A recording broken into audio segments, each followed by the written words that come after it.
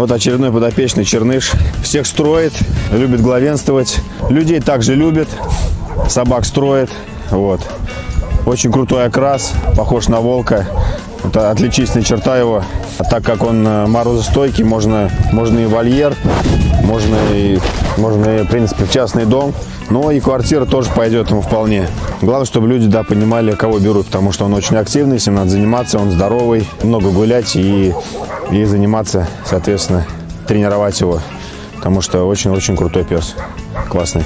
Кто любит активных, больших, сильных собак, самое то.